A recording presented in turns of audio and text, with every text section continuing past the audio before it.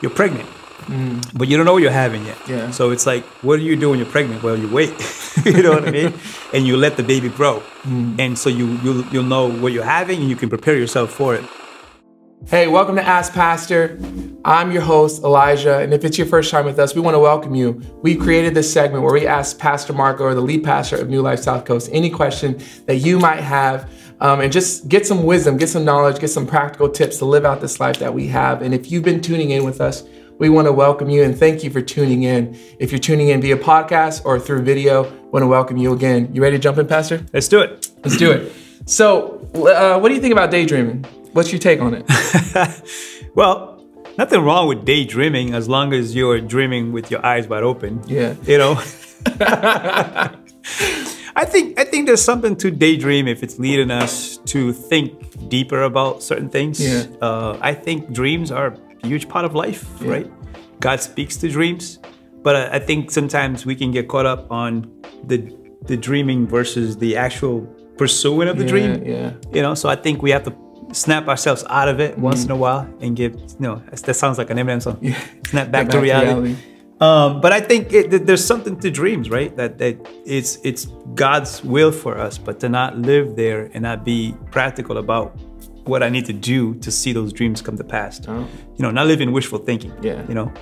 So yeah, So, I, yeah, do you think dreams are a catalyst to a movement somewhere? absolutely. I think I think we need dreams, right? Because without dreams, then what's what's life really? You know, I think sometimes we need a dream to wake us up to the reality of the mundane. And I love the mundane because to me, your dreams come to pass in the mundane. Because a lot of times when we think about dreams, we just think about the final product of the dream. Yeah. But the reality is every dream has a process to it mm. to get to that whatever that final product looks Yeah. like. So I think it's again, I have to keep reminding myself of that. Snap back to reality. What can you do today that is mm. going to add to that dream Yeah. that you might have? Yeah. You know? So, how about Joseph and his dream? When do you know the dream is just a figment of an imagination or something that God is putting in you?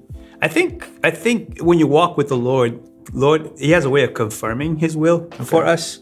Uh, if you like, you mentioned Joseph, right? What does Joseph say uh, when he meets his brother, confronts his brother who sold him to slavery and all of mm-hmm. that? Joseph realizes that in that process, which was a 14, 15 year process, mm. he says, actually, wait, it was God all along, Yeah. right? Because wherever he was, he he did the best with what was in front of him, mm. and I think God has a way of confirming His will when we're doing the best with what's in front of us. Mm. You know, like when he was a Potiphar's house, he was a really good worker, and that mm. stood him apart from everybody else.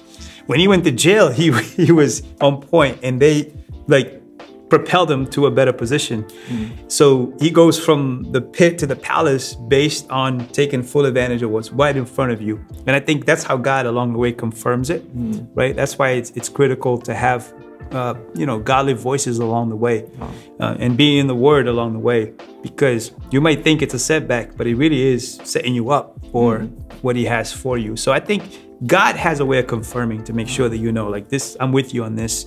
And just because something is hard does not mean it's not part of the process. And would you say you have to have a talent for the dream so they can meet, so you can live that out? So this question says, How do I find my purpose in life? I don't think I'm talented or gifted. I think everyone is talented. Everything, everyone's gifted. I think that's the part of the journey is to discover what is, what has God put inside of you, so that you can know uh, what you're more likely to produce out of life. Right. But from the beginning, God created Adam and Eve, and He said, "Be fruitful and multiply." Right. In other words, there's a purpose to your life, and a lot of times in that journey is okay. What can I do to unearth what's in me already, right? Uh, we have this book here, Purpose Driven Life. Um, I highly recommend The Purpose Driven Life by Pastor Rick Warren. It's a 40 day read, Yeah. but it's powerful because it, it would help to kind of unearth what's in you already. And, and I love the tagline of the book is what what on earth am I here for? Right? In other words, God wouldn't have you here if you wasn't if you didn't have a purpose for your life. So I think it's you have to own in on creating pockets to to figure out what the purpose is and what my talents is, what my gifts are. And I think you don't arrive at it. I think you you work towards it. So sometimes I tell people like in our church we talk about like join the mission, right? Yeah. Um, you may join a team. It does not mean where you're gonna stay, but you gotta start somewhere Yeah. to kind of get the ball rolling to see like what's in me. Yeah. And sometimes you don't know what's in you until you try something. Yeah, you know what I mean? Like uh, I've been following Christ for a little bit over 20 years, and I've done most of the ministries in the church, mm-hmm. right? And it, because to me, it was never like God didn't say, "Behold, you're gonna be a pastor." I think you know, as the journey progressed, you could begin to see like what is God leading you to. Yeah. But you got to do what's in front of you. Yeah. You know, I've done kids ministry, I've done youth ministry, I've yeah. done young adults ministry, I've done follow up ministry, guest ministry. You know what I mean? But all of it adds to the value of who you are and helps you to understand what's really in you. Mm. I think sometimes if you're just waiting to do one thing, you might miss it yeah. because it's like, hey, do what's in front of you and see what that leads. Yeah. You know. And did you feel like in your walk with Christ, especially as a younger Christian walking into more of your adult life, were people calling certain things out of you? Yeah, and that's the beauty I think of being part of a community mm. because other people begin to see things in you that yeah. you're not seeing. Yeah. You know what I mean? I remember way before we came to New Bedford, the plant uh, in New Bedford, there were some some some key voices in my life that would say, "Hey, I think you're going to be a, a, a, great pastor someday." Wow. And I was like, "I'm a youth pastor. I love it. Like this is this is it. Like yeah, this is yeah. my gig." you know. And then eventually begin to see, oh wait, maybe God's calling me to something else. Mm. You know, that's the power of community, right? Like I talked about that on Sunday. Like, don't be a lone ranger because you might miss a lot. Because a lot of scriptures, she talks about you in plural right? Like the whole community. Yeah. And the council of godly people is so powerful in helping you. And again, unpack what's already in you because you might have blind sides you're not yeah. seeing. Because the other thing too that could happen is you might think you're talented for something. We've seen those, yeah. Yeah, like I know for a fact God has not called me to be a worship leader. but you're a great worship leader nonetheless. you know what I mean? Multi-talented. But, I, but, I, but you know what's crazy? I've done worship leading in my church where I'm like, I lead, I help people into worship like Kirk Franklin does. I tell you yeah. what to sing and I'll help you up. Yeah. You know, but I'll never forget one day I just had to be honest with my pastor and said, I told my pastor straight up, it's like, I don't think I should be in the choir. you know? Because I'm like, I want to just be involved. Yeah. I want to try everything. Yeah. But now I'm at a point that I'm like, I can deduct some things. Yeah. and it's good for me and you yeah, as a church. And then I shouldn't be in the worship team. So yeah. I think also that's the beauty of community. Mm-hmm. And people can be honest with you and help you understand, like, hey, maybe that's not it for you. But it's a good thing you tried. Yeah. You know? that's not funny. You're still a great worship leader. Uh, I'm, I'm to say, I'm to say. I hear you sometimes singing in my ear. I'm like, okay, Pastor. I am sorry. Uh, so I got this question right here. Is it bad to have ambition or to want to be successful? I live in this world and I need to work with what the world offers in order to survive. How can I be in the world but not of it? No, I, I actually believe that you God created you to succeed. Mm. Right? Again, going back to Genesis chapter one, he said, you know, be fruitful, be multiplied, and rule. Yeah. Right? Take dominion in a sense. Um, I think we were created to succeed. Now, the, the, the difference is is when my motives and my intentions are not aligned with God's will for my life. Mm. That's when success could become detrimental to our souls. Yeah. Like the story that Jesus told about the man who he had a lot and he's like, man, I'm gonna build an extra barn and, and, and I'm gonna have so much. And then the scripture says that the Lord says, "Well, fool, today I'm going to take your soul." Yeah. In other words, what are you working for? Like, yeah. what is the point of your success if it's not to be a blessing, mm. right? Throughout scriptures, we see this pattern where God's like, "I'm going to bless you to be a blessing." Yeah. Right. He told Abraham, "Hey, I'm taking you out of here to bless you, but you're going to be a blessing to many nations." Wow. And the struggle with Israel uh, later on is that they turned inwardly and made it about themselves, yeah. and they stopped blessing the world. Mm. And I think that's the difference of success, right? It's like, is your success pointing to something greater and mm. bigger?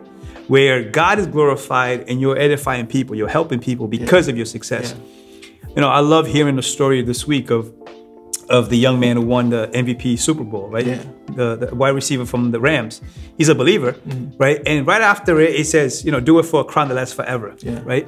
But it's beautiful that he's succeeding in his arena, right? He's yeah. a football player and he's just reached the pinnacle of a Super Bowl yeah. and he's the MVP, but wow. he's giving God the glory because he understands like my success is to point to something bigger and greater, mm. right? So there's nothing wrong with being successful, nothing wrong with prospering. It's just that you hope and pray that is leading to something big, bigger and better. Even like people in the world who are successful will say, "What is the point?" Yeah. Right? Because if you stop asking that question, then something inside of you is dying. Yeah. You know. So you can be in the world but not of it by your ambition being pure and being mm-hmm. godly, being right. That hey, I know why I'm doing this, yeah. and and whether my success is in money or is in or is in influence or is in fame, whatever it is, it's like I want to point to something bigger and greater, and I want to be a blessing to people mm. in the process. So yeah. again, nothing wrong with being successful. I think it, there's a weird like thing we need to untangle from, you know, following the Lord that yeah. oh the Lord doesn't want me to It's like, no, that's the scripture. Scripture says he wants you to succeed. He wants you to be blessed. Some of the most successful people in the Bible were people that follow the blueprint, like Solomon. Yeah. incredibly successful. David was incredibly successful. Um, Abraham. But the problem is, if you look at their lives, at some point when they drifted, it made it about themselves. The success became detrimental to their souls. Mm. Yeah. Like Solomon even says, my favorite Old Testament book is Ecclesiastes, right? Because it's like almost like his bio Mm. Yeah. of how he did life. Like he's like, man, I chased woman and I chased pleasure and I chased, you know, uh, money and I chased all of those things became meaningless. Mm. And there's a great line in there where he says like, in the message translation, it says it's like chasing wind. It's like you can't grab wind, right? But in the end, what does he say? He says, I learned this. But he's reflecting over the years. It's like, fear God, obey his commands, because that's the greatest thing you can do with your life. That his success was supposed to point to something bigger and greater. He made it about himself. So again, nothing wrong with success is when we turn it and make it about us instead of that God is giving us whatever success looks like to be a blessing. Yeah. And you just answered it, but I put language to the question is how do you in that success because you're pretty if you're looking out and this church is pretty successful to God's standards, but it's also pretty successful reaching people. How in that success do you find a place to humble yourself? Because it's easy to keep going like success to success, but how do you find a place that actually humbles you to remind yourself of that? I think it's it's constantly remembering your why. You know, I talk about this a lot, right? What is your why? Why do you do the things that you do? And when you are off your why, you have to quickly realign yourself back into it. You know, because we all can get caught up on Yeah. bigger, better, greater, more money, more this, more that. Yeah. But it's like why? Yeah. You know what I mean? I have to constantly come back to that why. And that ground it grounds me in my purpose that I believe God uh, put me on earth to do, which is hopefully to to expose as many people to Jesus as possible, That's right. right? And to help them connect with Him, but continue to ask God to refine my motives and my intentions, Mm-hmm. right? There's a great prayer in Psalms that I love, and I pray it often. I prayed it this morning. May the words of my mouth and meditations of my heart be pleasing to you, Mm. right? So I have to constantly bring uh, bring myself back to that motive, that intention. Yeah. Is why am I doing this? Because there are times that in the journey you can get sidetracked and get Yeah. caught on other things Yeah. that is not really the heart of why God's called you to do what you're doing. Like you have to be careful with comparisons, Yeah. right? Looking at other people and thinking, oh, they're more successful or they're more this, whatever. That's why I have disciplines. Like I haven't been on social media for so long. Yeah. Part of that is is like it, it- people may think, oh, you you're doing that because you have a problem. It's like no, I like to anticipate problems.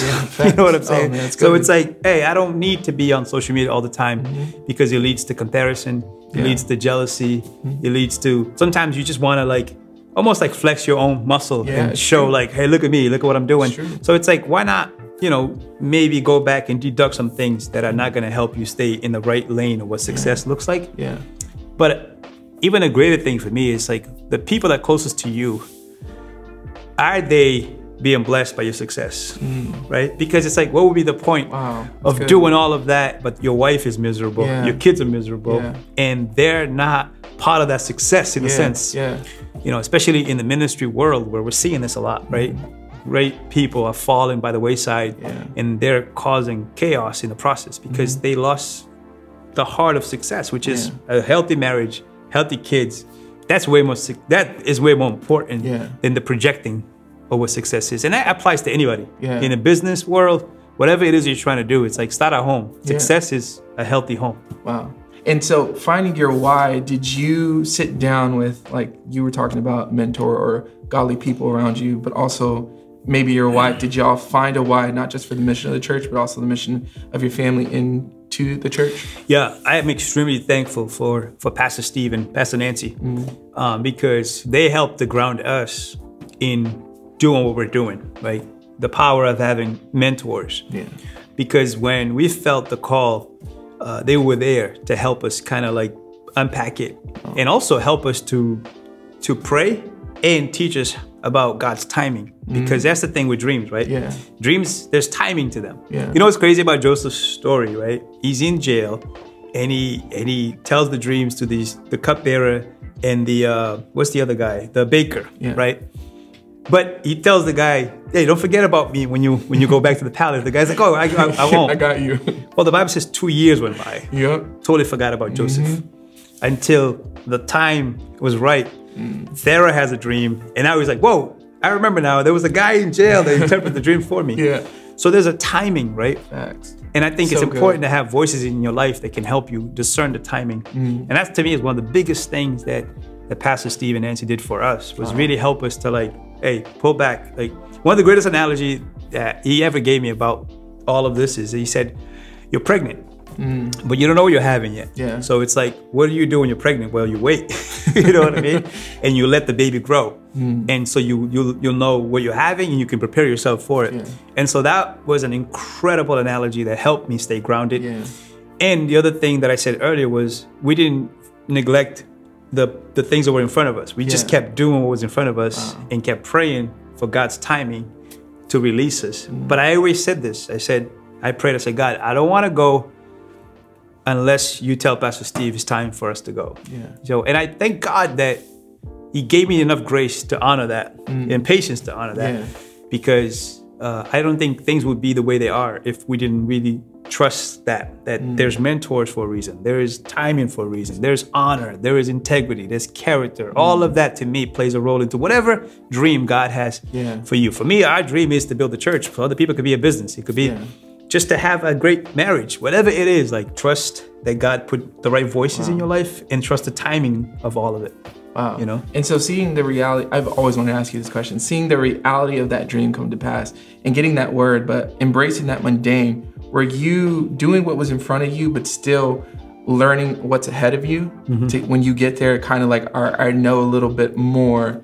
Now let me use this as I'm stepping into that. Yeah.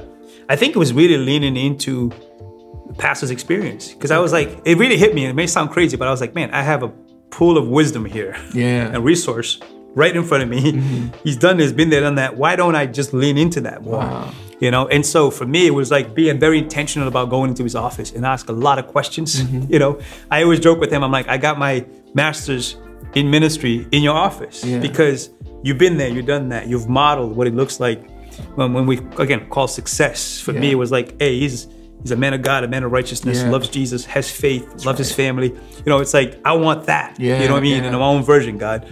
And so just being under that, under that mm-hmm. umbrella. And again, I think it's so hard, tough to teach that today because people they feel something, they just go. Yeah. But it's like, man, why don't you honor where you are and the people that is right in front of you Yeah. and take full advantage of it. And he still is one of my favorite people to talk to because he's still there on this journey with Mm-hmm. us. You know what I mean? So I think it's just like, can you honor where you are and the people that God has placed in front of you, whatever that dream is? Like, trust that there's a timing to it, though. Yeah. You know what I mean? There's no shortcuts. Yeah. You know, shortcuts always lead to dead end street That's right. somewhere. right. You know. And it's good. I read a book not too long ago called The Proximity Principle by Ken Coleman. Hmm. And he talks about that. Like the thing you want to step into, surround yourself by someone who's far above, like a, a pool of wisdom. Yeah. And just pull on that and learn from it. That's why every year we, we, we try to go somewhere to learn, right? We just came back from the conference in Florida. And I purposely pray every year, God, where can we go to learn from people who are further on our journey than us, right? Not just from an external standpoint of like, oh, look at what they've done, but like, Yeah. no, what have they built with their lives? Yeah. You know what I mean? That's that we good. can also glean from and learn from. So I'm always listening to people from that perspective. It's not just what you're saying, but it's like, hey, what have you built with your life? Yeah. that says, man, that that that will preach. Mm. You know what I mean? So I think just being teachable, wanting to learn, wanting to grow, and again, it's really hard though. Like trusting the timing and not and be patient to not rush the process. Mm, you know? Awesome. All right, we got this next question. How do you overcome shame and guilt from your past? You know, it's interesting. The word shame, the first time used in the Bible, was when Adam and Eve sinned against God, and they felt shame and they felt naked. You know, and the word there, naked, it wasn't necessarily just physical, but it was like something was missing, something was lacking. So I think that that comes from a, some some brokenness somewhere, right? And sometimes that becomes an identity Yeah. you know, unfortunately, if we don't uh, allow the Holy Spirit to come and minister to us. So I think the process looks like this.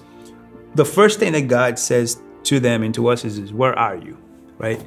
Again, God wasn't saying that physically, like, because God is everywhere. Yeah. But God was trying to check their soul in a sense, like, where are you? What's going on with you? Yeah. You know? So being being honest about where you are, Mm. you know, in other words, own the mistake or the sin, whatever Yeah. it is, own it, right? But don't uh, embrace it, right? So I own it. That's repentance, right? I need to repent. I need to turn away from this thing. I need to bring it to God.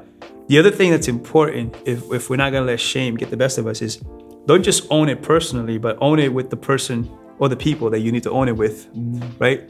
Like go and make amends if you need to be. Yeah. You know, a lot of times people say it's just between me and God. It's like, no, no, if you hurt someone, mm-hmm. you need to go make amends. Yeah. Go, go, go, go and do the right thing because Jesus said, then you will be blessed. Right. And then the, the next thing that's so important is you had to replace the shame with the word. Mm. Right. I will give you one word that I think is so important to speak over shame is Romans 8 1. It says, There's now therefore no condemnation for those who are under Christ Jesus. Right. Right. So I need to declare that over me.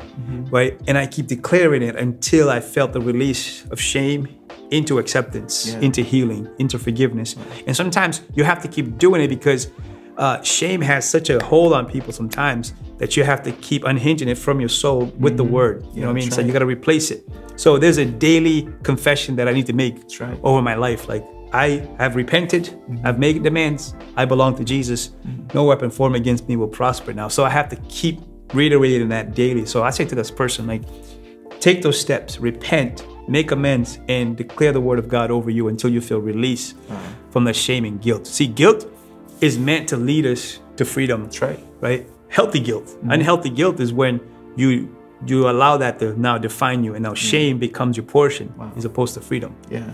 Wow. And so let's let's say that person is finally received that, but their family is the collateral damage. And how do they walk out? So this question is, how do you represent Jesus to friends and family that have known the real you for so long? Yeah, I think it's you. You have to lead by example. Like you can't you can't try to make people believe you by forcing them to believe you when for so long you were modeling what you're Yeah. what you're saying. Yeah. So I give you a, perf- a personal example of that is my dad. Like my dad would struggle with drinking. He's an alcoholic. You know, he was verbally abusive at times, even physical.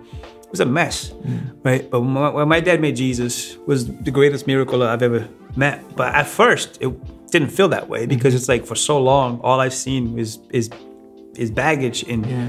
and carnage that he had no leg to stand on to say mm. like, "All right, look, I'm I'm changed." Yeah. So I give him credit because what he did was he just led by example. He didn't try to mm. force it on us. He didn't try to like make us, but he was just mm. like the way he was living. You can tell like, okay, he's a different man, mm. you know. And with time, time heals all things. Right now, you have a platform to use all those things that was hurting to become a healing thing. But that takes time, like especially for people that's closest to you. Like you, mm-hmm. they're not concerned about what you have to say. They're concerned about what you're doing. So with with family members and those close to us, you got to do it by example. Just let the way you're living, and then and then pray for them to see that this thing is real, right? But you can't force it because you have no leg to stand on. Like you now have to, you're in a place you have to earn people's trust Yeah. again.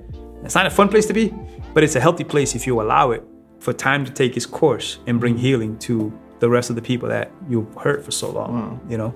And and what would you say to someone who's enslaved themselves? Like let's say, so we read a book called Bo's Cafe, purely fictional, but it's somewhat in reality too. Yeah.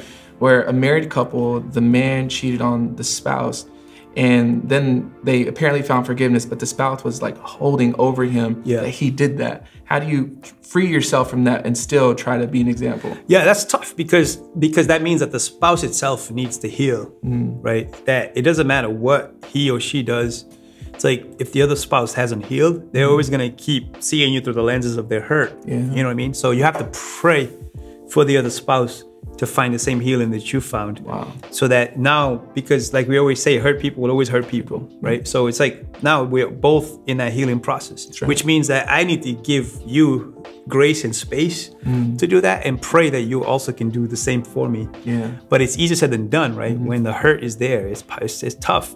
That's why sometimes you need, you know, a, a third voice, like a counselor, you know, or a therapist to kind of help bring healing and kind of bring perspective. Because sometimes we have those blind sides where all we're seeing is the hurt. We're Yeah. not seeing that he's made a lot of progress. Yeah. So it's like it's healthy to have outside voices so that can help you speak into that and and also bring perspective. Because again, our hurt just skews the perspective that we're seeing. But again, it's easier said than done when Yeah. when you're the one hurt. Yeah, facts. You know. It's like being in war, but you have to be the one to be like, I'm willing to walk this out with you. Yeah, exactly. and still, you can still hit me. Absolutely. Not easy.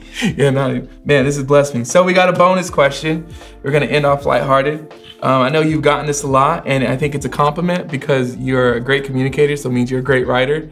Uh, when are you writing another book, or do you have an idea for a Oh next man. book? I, I genuinely don't feel like I'm a good writer, honestly. Like I feel like I don't even know how I was able to write Untangling Jesus from Religion. So I don't have a, a plan. I would love to write another book. Of, You got ideas you know, about ideas. um, I've always wanted to write a book called Be Intentional. You know, like living out your faith on purpose. oh, that's good. Um, but I feel like that's just like a one page thing. It's like be intentional. Just That's about it. everything. You know. But I would love to be able to lay out a, a book like that, like all the areas, how to be intentional in every single area of your life to reflect that you are a follower of Jesus. So I don't know. That's just a thought, you know. But uh, I don't consider myself a writer, to be honest. I got an idea. When you, oh, I think you already have a book for verses that don't make it devotional. Those are fun. Yeah. I don't know who's, who will read those. You know, I'll take one. I'll take one. like all based on the Book of Leviticus, you know, Numbers. oh man, oh man. Well, thank you, Pastor. It means a lot that you've um, sharing your wisdom, knowledge, and experience. It means a lot. Um, I'm definitely a student here, so thank you for pouring into us. Awesome.